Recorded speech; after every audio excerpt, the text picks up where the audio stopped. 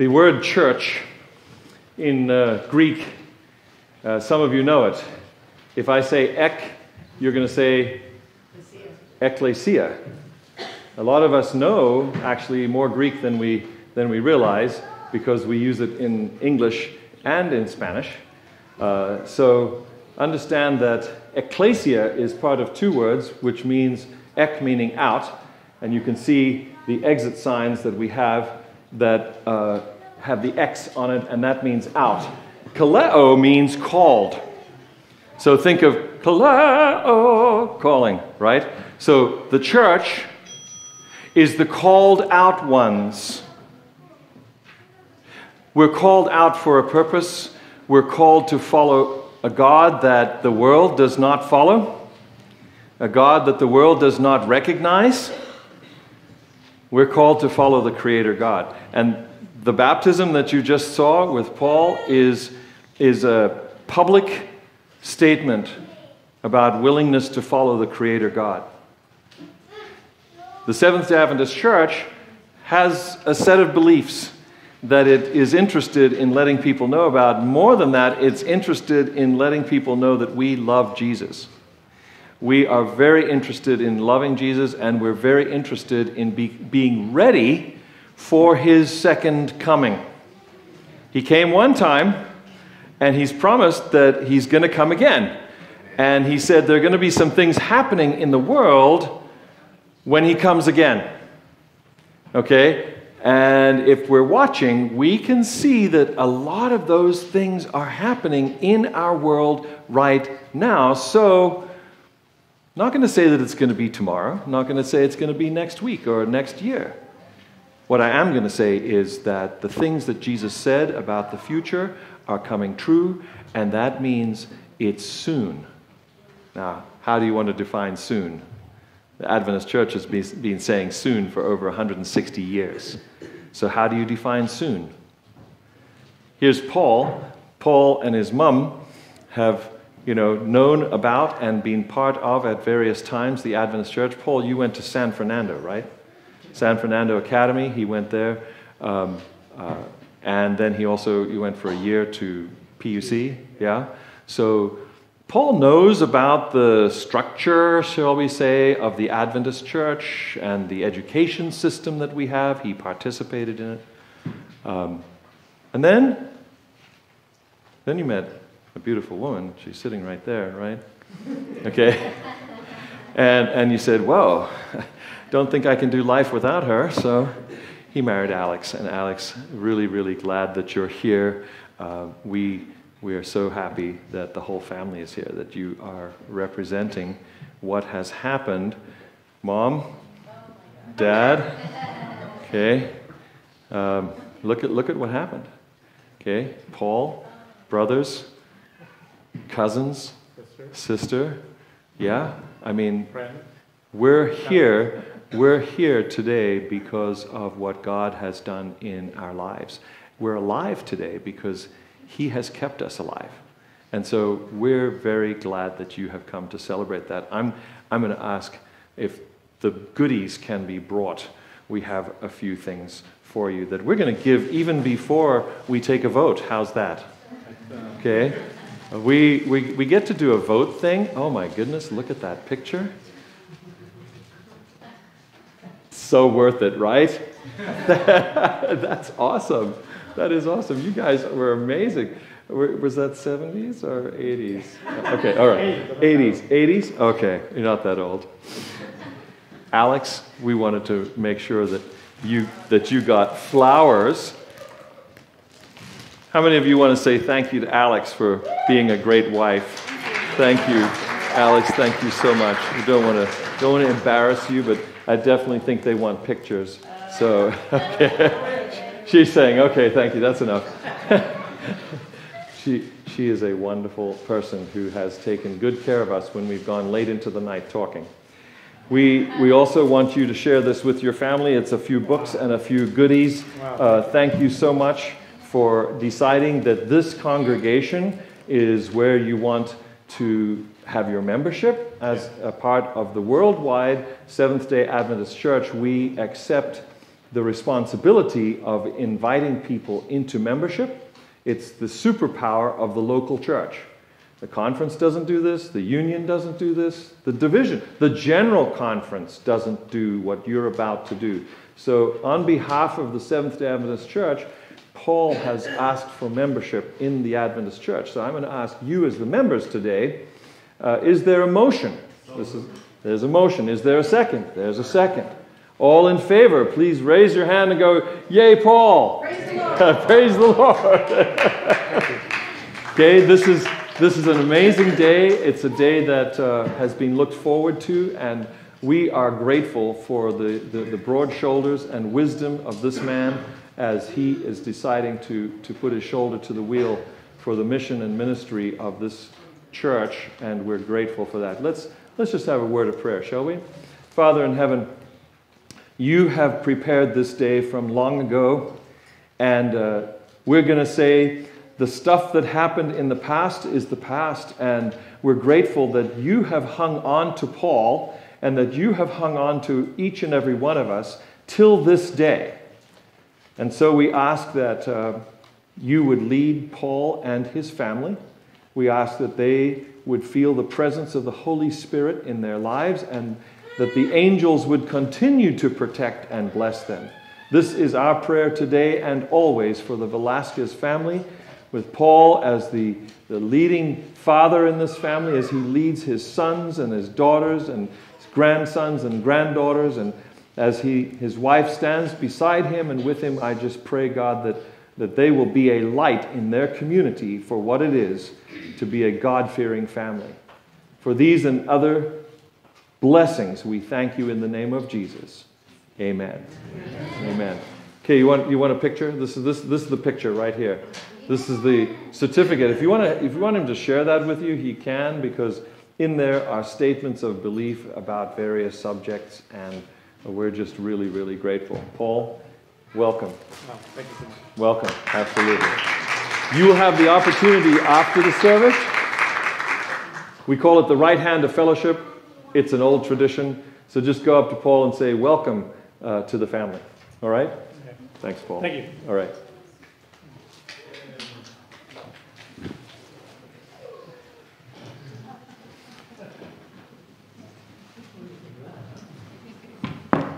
I am reading Malachi chapter 3, verse 6 through 12. For I am the Lord, I do not change. Therefore you are not consumed, O sons of Jacob. Yet from the days of your fathers you have gone away from my ordinances and have not kept them. Return to me, and I will return to you, says the Lord of hosts. But you said, in what way shall we return? Will a man rob God? Yet you have robbed me. But you say, In what way have we robbed you? You are cursed with a curse. You have robbed me, even this whole nation. Bring all the tithes into the storehouse, that there may be food in my house. And try me now in this, says the Lord of hosts if I will not open for you the windows of heaven and pour out for you much blessing, there will not be enough room to receive it. And I will rebuke the devourer for your sakes, so that he will not destroy the fruit of your ground, nor shall the vine fail to bear fruit for you in the field, says the Lord of hosts. And all nations will call you blessed and you will be a delightful land, says the Lord of the host. Amen.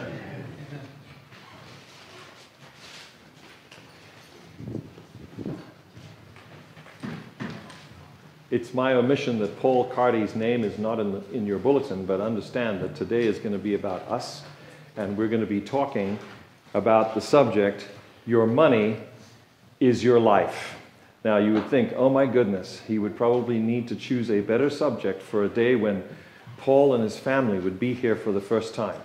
However, I think that it is a most amazing subject because I do believe that the money that we carry around, that we get paid on payday, represents time that you will never get back. It's a piece of your life that somebody has put a value on. Uh, yes, exactly, Mom. It's hilarious to think how little value sometimes we feel that our life is. Because people may say, oh, you're just a serving person at, at, at Jersey Mike's. So we're only going to pay you, okay? Or you're a, a maxillofacial surgeon. We're, we're going to pay you. You see what I'm saying? So there is a system that we live in in this world that puts a value on your life. You just heard a text read that is traditional in the talking about money in, in church, and particularly the idea of tithe.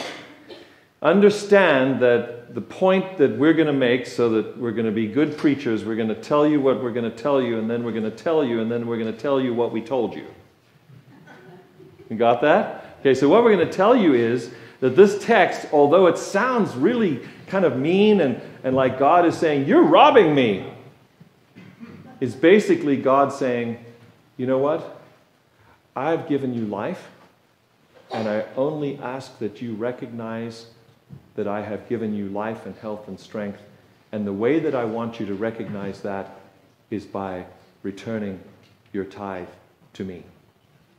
And he had a designated way of doing that in the Old Testament, and we have a designated way of doing that in this denomination, if you like, in this Christian church. We have a designated way that we do this, okay? But nonetheless, it's the action that we are talking about today. And so, really, on this day where Paul has demonstrated his relationship with God and said, I am together with God, I want you to know that every Sabbath and now online, you have the opportunity to demonstrate it's a physical thing that you do, whether it's tapping it out on your phone online, or whether you're writing a check, or whether you're getting bills out of your billfold. It is a physical thing that you're doing to say, this, this piece of paper that represents money, which is the, the currency that goes around and around, which I spend on things and which people give me for the time in my life, I am taking part of this thing that represents my life and I am giving it back to God because He asked me to do this as a way of recognizing that He gives me everything. Everything that I have, everything that I, that I am comes from Him as the Creator God. So that's the basis. That's really the basis. And I, I, I guess uh, I, as, as Paul and I talked, I said, look, let's, let's just put it out there that this is what we're talking about. And it, may, it may seem strange on a day with the baptism, but really it's not, because we're talking about our lives here and, and then this idea of, of, of money. Uh, it's based on the fact that we believe in God, right? Um, if you don't believe in God, then you're really not required to pay tithe, are you? So if you do believe in God and you do participate in a relationship with Him, then this topic today, and particularly the text in Malachi, recognizes that relationship and says, okay, here is how you can recognize your dependence upon God in a physical way. Uh, and, and Paul, I just wanted to start this out by saying uh, there's a particular word that comes in this text which I want to emphasize, and that is the word increase. How many of you would like to see more in your pocket this year than you did last year? Or let's just say enough in your pocket to pay the bills. Yes? So you need an increase in order just to stay alive. We talk about inflation, all that kind of stuff. This is the word increase. And basically, God says, I'll make a deal with you. I'll give you an increase if you recognize that it was me that gave it to you. Does that make sense? So he says, I would like you to tithe on your increase. So let's just go back to the Old Testament for one small second and say, I have a hundred sheep. If none of my ewes in my flock gave birth in that year, would there be an increase? I'd still have a hundred sheep. But God says, the first lamb from every ewe that gives birth, the first lamb is mine. You can read it, it's part of what is in Leviticus. So the tithe, as it were, for your herd, your flocks and herds, was the firstborn of every every animal. So that's how they did it with animals. We say, okay, so I get a check. What's the first thing I'm going to do with that increase? I'm going to say, First thing is, I'm going to recognize that God is the one who gave me that increase, and therefore I'm going to return to Him what some Hebrew scholars would call the very least of the things that you can do. Because in Hebrew, you count with letters. The numbers are actually letters. And the tenth number in the tenth letter in the Hebrew alphabet, which is also the number 10, is the yod or the jot. We talk about the jot and the tittle, okay? It's the tiniest letter in the Hebrew alphabet. So the rabbis say, hey, you know, it's the least, it's the least we can, we can do is give 10 back. So that's the setting. Um,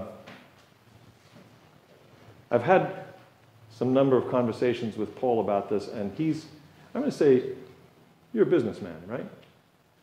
Okay. How, how has this come across to you as a person who is looking for an increase in your business? As far as your yes, as far as your relationship with God, and you know what what has this helped you? What has this helped you to uh, to do? So I get to talk for a few minutes here. You're up. That was a joke, you guys. Me and him go back and forth sometimes on some of this stuff. And on the racquetball court. So. Um, okay, so going back a ways, um, I did not have God in my life. I was not raised around the church. My parents were, but they chose in an early adult age to kind of go the other way and not raise their kids around the church. So I was raised with all the other kids the way we all get raised when we go to public school and we we figure it out, we figure the world out. My parents are good people. They have very good hearts. They just chose not to bring that element of a religious understanding or upbringing into it for me. Fine. So I turned out turned out to be a pretty self-centered little cuss, as they call it. and not, not in a bad way. It's just this is the default, I think, in the world. You know, we, we worry about ourselves kind of first and foremost until we find a, a calling or a yearning or something that's inside that, that is, is pulling us towards trying to figure out is it really more than all, all about us? And so I was listening to that as I got older, as my I got married, and we had three kids and small kids, and I just didn't really know what all these Christian people were always this excited about. I was pretty skeptical about it all. But um, I, I I ran into a group of uh, other guys, some of which who were businessmen, who were, in, in the way I looked at the world, very successful in life, and they had walks with this God. And so something in the, that era of my life told me, why don't you just be quiet for once, Paul, and listen and search and figure it out for yourself instead of just always pushing back nicely. Oh, no, I'm not interested in that. So that was the beginning, and over the course of the last 25 years, in deciding to read the Bible for myself with a group of other Christians who, in many cases, you know, were way ahead of me in their knowledge, but helped me to see the basic concepts of what's going on in God's message in the book. That it's not about, you know, pounding religion over our heads at all. It's about us finding God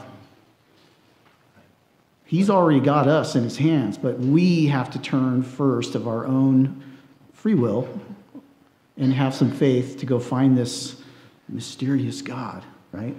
So, over the course of time, that softened my heart enough mm-hmm. that it has helped me in my dealings with people. Business is people at the That's end right. of the day. That's right. Um, Relationships. And that has manifested itself into looking back, lots of good decisions now, things that have really panned out pretty well for myself and my family.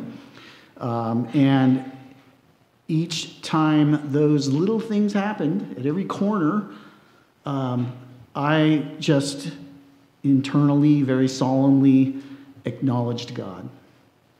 I don't talk about it a lot with people. Um, talking about money in a congregation is very uncomfortable.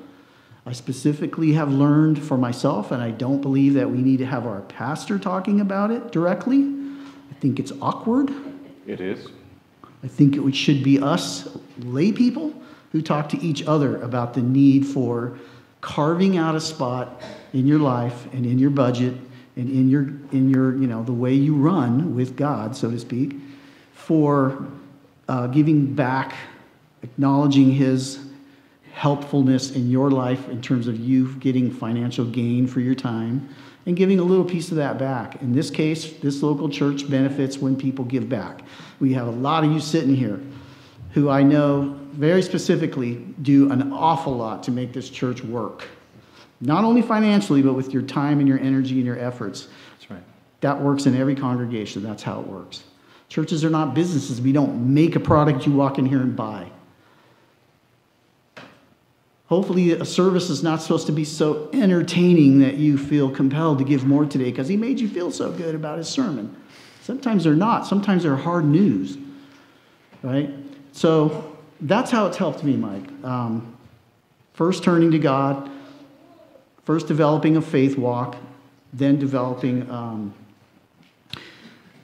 an attitude, I guess, for carving a piece of our financial lives out and giving it back happily, not out of obligation. You know, some of the stuff in the Old Testament is pretty obligation sensitive. It's pretty, you know, mm-hmm. God's laying it on you. You have to do this or mm-hmm. else. I don't buy that stuff. Mm-hmm. I just don't like that. it doesn't roll with my personality style. I would rather joyfully go in and do something because mm-hmm. it would be a hundred times better coming out the other end that way. Sure, absolutely. Well, uh, Corinthians Corinthians tells us God loves a cheerful, cheerful giver, and um, again, the, the only reason why I laid the basis that I did was because it would, it would be much nicer in a relationship with God to be cheerful about it rather than be feeling like, you know, why, is, why does he need? He, he doesn't need my money. He doesn't need my time. He's got all these other resources at his disposal, but so, so why would he need mine? And so that's why I think this is a very intensely personal action, uh, decision, attitude. These are words that you've used that are, are great. That we decide this is the kind of relationship that I want to have with my God. Uh, I want to recognize Him, want to do so cheerfully and lovingly. Uh, you've talked a lot about the local. Um, we have a tithe envelope in front of you if you, if you, if you care to look at it. I, I don't look at it anymore because my wife uh, does the bills and she does them online. And so on our website, there is a place where you can do your giving if you want to do it through the church. Uh, just understand that this, this local church of the Seventh day Adventist denomination uh, participates in a system, and that system is that tithe, this is where uh, Paul is absolutely right. It's difficult for a pastor to talk about tithing because I get paid with tithe. But our system is that we support a sisterhood of churches in what we know as the Southern California Conference. And so every penny of tithe that comes from this church is sent to the conference by our treasurer. And the conference then sends it out in the prescribed manner that we have all voted that it will be sent out. And that's, that's why I get a paycheck, is because people in this conference are faithful in returning their tithes through the venue, and this is a word that Paul and I talked about, that this is a venue for you to return your tithes. And I'm thankful. I'm just going to say I'm thankful that you do. All right? Uh, we pay tithe. I pay tithe as well on the tithe that I'm paid with. So I participate in this system just like you do. Okay? Uh, I also, in, in talking with Paul, we, we talked about the fact that the Seventh Adventist Church has a worldwide perspective. And so I want you to know that not every penny of your dollar of tithe stays here in the Southern California Conference.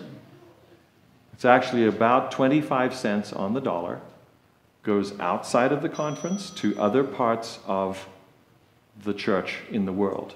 So the conference gets some, the actually the, the union, the division, and the general conference all get a piece of that tithe dollar for doing ministry in other parts of the world. So you can know, it's actually a piece that I want you to know, that for every tithe dollar that you return through the Adventist system, that you are not only helping this local church by my services, but you are also helping other local churches in the Southern California Conference and you can also say you're helping people far across the seas with that tithe dollar. And, and I, I don't know if you knew this, but I want you to know that because there are other times when we ask you for other offerings for specific projects. I want you to have in your mind if you're paying a faithful tithe, that you are already participating in monies going far away but that you're mainly participating in the ministry of the local church. So when you give, on the back of that envelope, the inside of that envelope, you designate how and where. That's right. There's two ways to give that, that benefit this whole organization. You give tithe, which goes up to the conference, like Mike said, and it is used for payroll to pay our pastors and our help. You give to your local church budget. That keeps the lights on, that keeps the grass mowed, that keeps the place looking good. And that's different from tithe. And that's different from tithe. You work it out with God how much and how you want to split that. Right. Okay? Collectively, though, when the majority of us are doing that, enough comes in, and we don't have to talk about money. That's how I'd prefer it to be. But sometimes when it's not, and all you got to do is open your bulletin up and take a look at some numbers and stuff, um, we have to kind of bring it back up a little bit to make sure that people are aware that same as paying your rent at home and putting the lights on in your home and you know parking lots have to be repaved every five years and the roof every 20 and a lot of stuff. This place is one big old house that just falls apart and that is paid for by our local gathering of what our congregation and people are willing to give back. So make a piece, a place, you know. People march with their, their, their feet and they march with their wallets. Where you go is what's important to you. And what you spend your money on is what's important to you. Okay? And so I think our point, without hammering it too hard, is to simply say, God is asking us to make a place for Him too in both of those areas. Not the whole thing either. Some small amount that you work it out. You work it out with Him. Mm-hmm. Not for us to tell you dollar amounts and all that stuff. You guys have to work that all out. You know what's in your heart. But if enough people do that, it's not an issue regarding the budget and the whole process of keeping a place physically here mm-hmm. and a pastor in place and all that stuff. When it gets too low, things get put in jeopardy. So, just going to, in, in, in closing, then I'll just read this one piece from Malachi again. It actually says, and, and this might be amazing to some of you, but it actually says, Test me. So this is God talking to you today test me. You don't think that this is really going to happen? Well, try me. Try me. And see if I, this is, this is now the God of heaven. we look up into the sky, right? we think he's up there when I think he's all around us. Bring the whole tithe into the storehouse that there may be food in my house. Test me, says the Lord Almighty, and see if I will not throw open the floodgates of heaven and pour out so much blessing that you will not even have enough room to store it. So, uh, as we as we go to our homes today, as we look, as we think about our lives, we think about the the life and health and strength that God gives us every day. This this reciprocal action is what we're thinking about, and He is saying to you, test me, see if I don't make your life uh, amazing, do things for you that you never thought possible. Uh, because you found that I do love you, I do take care of you, and that your relationship with me is important. He knows the hairs on your head, He knows exactly what's going on in your life, and we can trust Him. Amen? Amen.